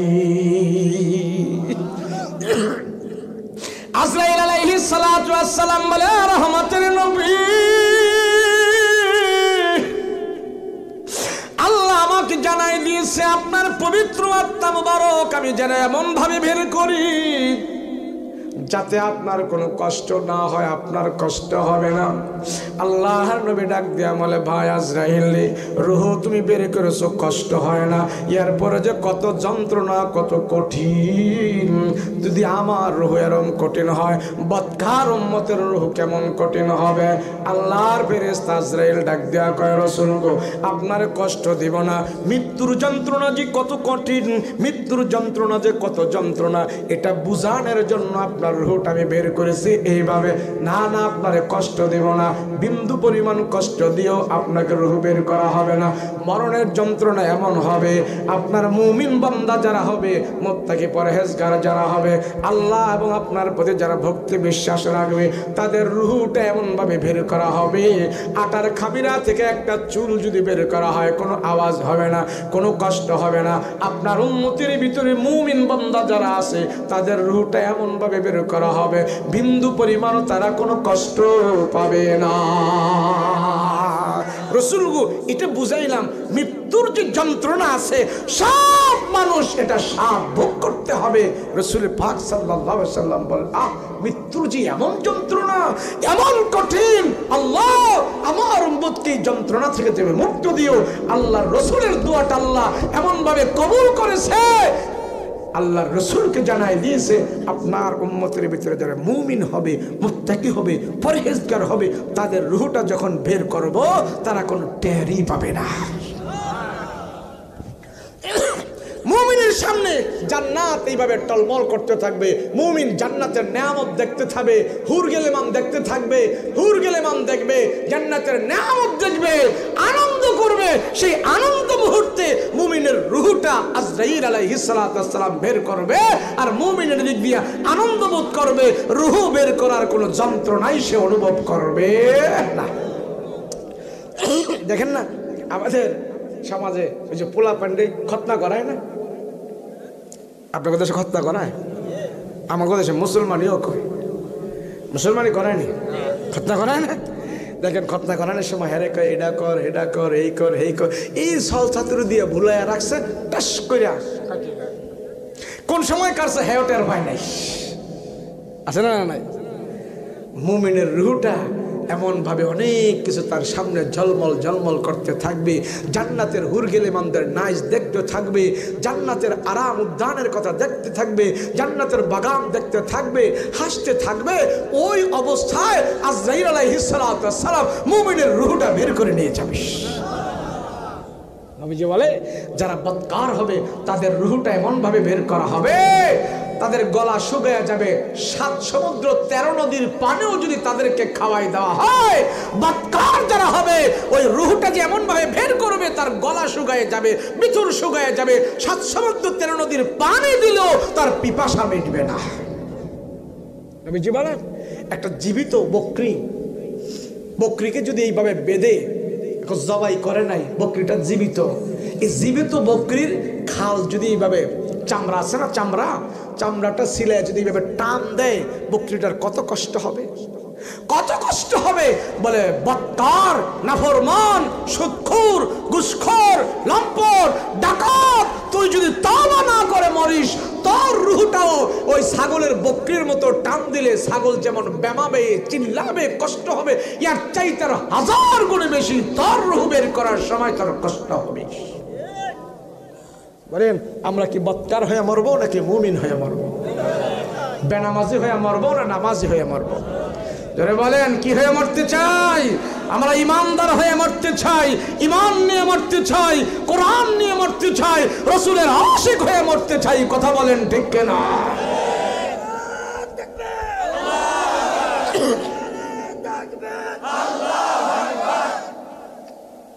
বলেন, আমাদের হায়াত কি বেশি না কম? বলেন, বেশি না কম। কিন্তু আমাদের লোভ, আশাও কি বেশি না কম? আমাদের হায়াত হইল মাত্র পঞ্চাশ, ষাট, সত্তর, আশি, কিন্তু তিনশো বছরে প্লান করে রাখছি। আমার নাতি খাইব, পতি খাইব, এরপরে যারাইব হেরা খাইব। বলে কি বলে না? এটা হলো জাহেলি। এটা হলো জাহেলি কথা। আমি আমার নিজের চিন্তা করি। মানুষ মরণের চিন্তা যদি তার ভিতরে না থাকে, শুধু মানুষ না শুধু গরু, ছাগলের মতো। গরু, ছাগলের মরার চিন্তা আছে? কুকুরের মরার চিন্তা আছে? এই যে বকরি, ভেড়া, দম্বা এগুলিকে মরণের চিন্তা আছে? তো আমিও তো যেইভাবে চলতেছি, গরু, ছাগল যেমনে চলে, আমিও তেমনে চলতেছি, আমারও মরার চিন্তা নাই, তাহলে মানুষ হয়ে আমার লাভ হইল কি? কথা বলেন ঠিক কিনা? একটা গরুরে সকালবেলা কৃষক মাঠে ঘাস খাইতে দিচ্ছে তো এটা কৃষক দশটা বাজে যায় দেখে এটা ঘাস খায়। জোহরের টাইমে যায় দেখে ঘাস খায়। বিকেলে যায় দেখে ঘাস খায়। যখন বিকেলবেলা সন্ধ্যার সময় মাঠ থেকে নিয়ে আসবে, তখনও কৃষক দেখে এটা ঘাসই খায়। কথা বলেন, ঠিক না? রাত্রে এনে ঘরে খোয়ারে বাঁধছেন গরুরে। দিনের বেলাও মাঠে খাইছে। রাত্রে যায়ও দেখেন এটা চাবায়। খেরকুডা খায়। কথা কোন, ঠিক না? গরু রাত্রেও খায় দিনেও খায় এই খাওয়ার সাথে আরও দুইটা কাজ করে, মাঝে মাঝে ঘুমায়, পায়খানা প্রস্রাব করে করে না করে না। তাহলে গরুর কাম কি? সকালে, বিকালে, রাত্রে সব সময় চলছে সাবানি খাওয়া। খায় না? কথা বল কি? আরেকটা কাম কি? পায়খানা করছে, প্রস্রাব করছে, মাঝে মাঝে একটু ঘুমাইছে। হ্যাঁ নামাজ নাই, কালাম নাই, রোজা নাই, সত্য নাই, মিথ্যা নাই, কোরআন নাই, কিচ্ছু নাই। গরুর এগুলি আছে তো আমিও সকালবেলা আটটা বাজে ঘুম থেকে উঠছি উঠে আমি কাজ করতেছি, জোহর গেল, জোহর নাই, খাওয়া আছে, পায়খানা আছে, প্রস্রাব আছে, রাত্রে এসে ঘুম আছে, নামাজ নাই, রোজা নাই, কিচ্ছু নাই। তো গরু আর আমার ভিতরে কোনো পার্থক্যও নাই হ্যাঁ আমি মানুষ আমি মানুষ আমি গরু ছাগল নয় আমি শুধু খাব আর পায়খানা প্রস্রাব করব আর ঘুমাবো, সেই জন্য আমাকে দুনিয়াতে পাঠায় নাই। তাহলে গরু ছাগলটা পাঠাইলে যথেষ্ট ছিল। বলেন, আমরা কি মানুষ না গরু, ছাগল? মানুষ হলে কপাল লাগায় আল্লাহকে সেজদা দিতে হবে, কথা বলেন ঠিক কিনা? এই কপাল আল্লাহ নিজের কুদরতি হাত দিয়ে বানাইছে। আল্লাহ বলেন আমার কুদরতি হাতের কপাল লাগাইয়া যারা আমাকে সাজদা দেয় নবীজি বলেন একটা সেজদার দাম তাম পৃথিবীর চাইতে আল্লাহর কাছে আরও বহুত বেশি দামি হয়ে যায়। সেজদা দিব তো ইনশাল্লাহ নবীজি বলেন ফজরের নামাজ না পড়া যে ঘুমায়া থাকবে হাসরের ময়দানে তার মাথাটা ফাটায় ফাটাইয়া সব জায়গায় ছিন্ন বিচ্ছিন্ন করে নিয়ে যাবে, আবার এক জায়গায় লাগবে, আবার তার মাথা ফাটানো হবে, আবার ছিন্ন বিচ্ছিন্ন হবে, আবার এক জায়গায় হবে, আবার তার মাথা ফাটানো হবে। ফজরের নামাজ না পড়া যে ব্যক্তি ঘুমাইয়া থাকবে। নবীজি বলে, যারে দেখতেছো ফজরের নামাজ পড়ে মসজিদ থেকে বের হইল, তোমরা সাক্ষী দাও, এই লোকটা শুধু নামাজ পড়ে বের হয় নাই, সে ইসলামের পতাকা নিয়ে বের হয়েছে। আমি মুসলমান। বলেন তো, এমন পতাকা আমরা কয়জনের লই সকালে? হা হা সারা রাত ওয়াজ করে নজর ভালো লাগবো, নামাজ বাদ লাগ না। কথা কই না দি। পড়বেন তো ইনশাল্লাহ চেষ্টা করেন চেষ্টা করেন, নিয়ত করেন। দেখবেন, অল্প রিজিকের ভিতরে আল্লাহ বরকত দান করে দিবি। আমলি হন আমলি হন। ঘরটাকে আমলি পরিবেশ বানান জিন্দগিটা আমলে পরিবেশ করে, অল্প রিজিক আল্লাহ বরকত দান করে দিবি। আল্লাহ আমাদের সবাইকে আমল করার তৌফিক দান করেন বলে না আমি যা কিছু বললাম এবং শুনলাম, আল্লাহ আমাদের সবাইকে আমল করার তৌফিক দান করেন বলে না আমি আল্লাহ, তুমি আমাদেরকে সমস্ত বিপদ থেকে হেফাজত করো বলেন, আমিন। আল্লাহ, ভূমিকম্প থেকে হেফাজত করো বলেন, আমিন। আজাব গজব থেকে হেফাজত করো বলেন, আমিন। ঠিক আছে ইনশাল্লাহ দোয়া হবে এখন।